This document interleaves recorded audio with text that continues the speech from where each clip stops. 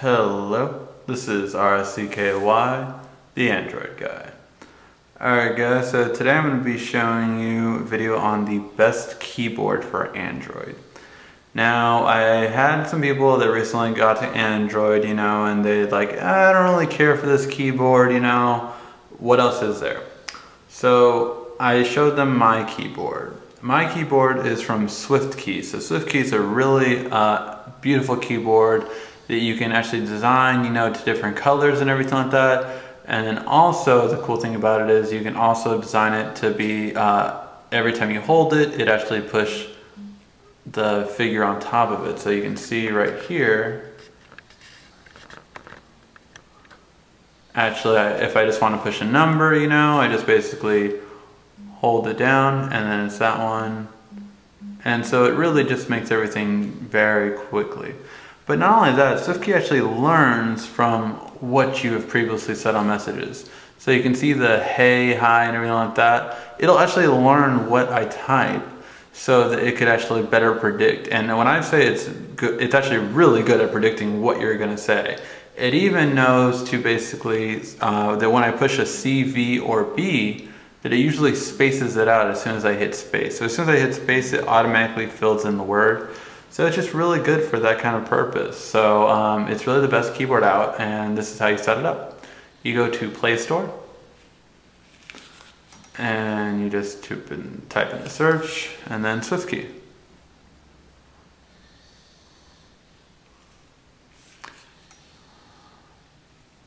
And there it is.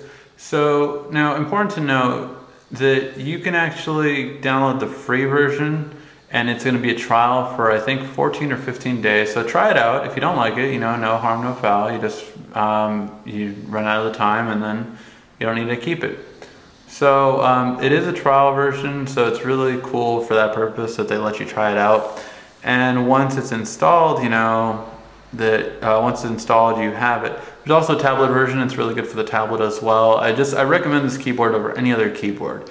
It's actually said that even on uh, Jelly Bean that they try to make it more like SwiftKey. So it's really kind of the best keyboard out. Now, once you install it and you open it up, you actually um, will have a setup.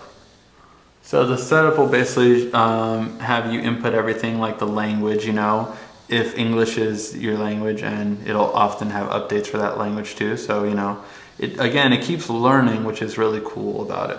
So you, first you'll choose your language, uh, then you'll choose to personalize it. Now here's the thing. You can actually, it can actually learn from your Facebook, your Gmail. You basically sign in and you give it access to be able to a sense read them. They're not really reading them though. They're just, the database is just getting the words you type in and then spitting them out here. If you're, you know, a privacy, you know, phobia, then, you know, you don't have to do it. But basically you can learn from your Facebook, you can learn from your Gmail, it can also look from your RSS feeds and your SMS. So these are all the way, different ways you can learn, and it really does learn. Like I, I definitely tap the, whatever predictive word it often has for me, simply because it learns from this. So it's really nice. You also, of course, can have a different theme by the keyboard, so you can choose whatever keyboard you prefer. Lots of different cool styles. And you can also uh, add arrow keys, which is something that uh, EVOs are known for, that this can also have. In terms of advanced, you can choose two styles of typing, which is precise and rapid. I type fast, so I like to do that and have autocorrect basically correct my words. Uh, if you're a careful typer who often chooses predictive, then you can do that. So it depends on either one.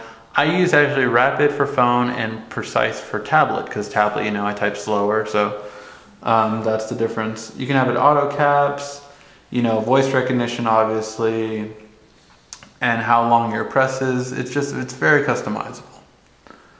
And you can even see your stats. So to date, I've gotten this many keystrokes saved because of SwiftKey.